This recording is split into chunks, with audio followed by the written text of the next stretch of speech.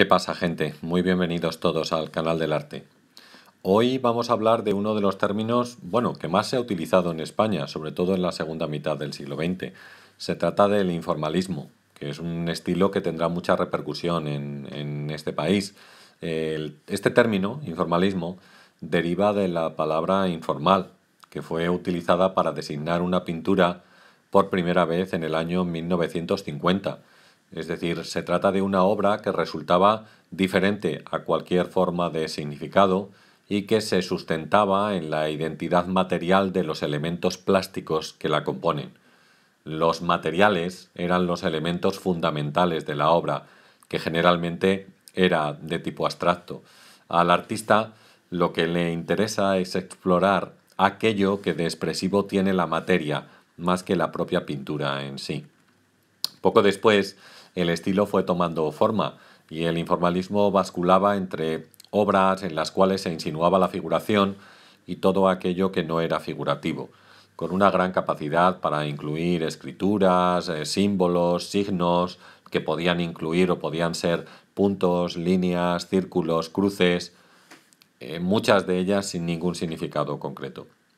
Esta segunda acepción nos lleva a una extensión del informalismo aquellas obras en las que la materia, los signos, los gestos, lo gestual o la ausencia de una estructura prevalecen sobre cualquier otro rasgo de identidad de la obra.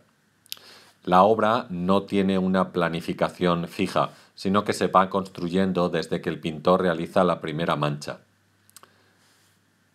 Se trata de utilizar las paletas, los trapos, ¿eh? y las claves de lo que ellos están eh, buscando. El informalismo vivirá su gran momento desde el final de la Segunda Guerra Mundial hasta bien avanzada la década de los años 60. Son muchos los movimientos que influyen en el origen del informalismo. Quizás el más conocido de todos sea el expresionismo abstracto en Estados Unidos, pero también la abstracción lírica en Europa o el tachismo. Todos ellos conviven y se influyen mutuamente. El movimiento formalista tuvo mucha repercusión en España, donde contó con algunos de los más conocidos pintores de la segunda mitad del siglo XX.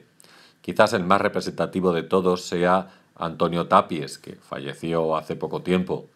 El color, la materia, los grafismos y algunos de sus símbolos inspirados en la filosofía oriental y también en la teología forman parte inequívoca de sus obras.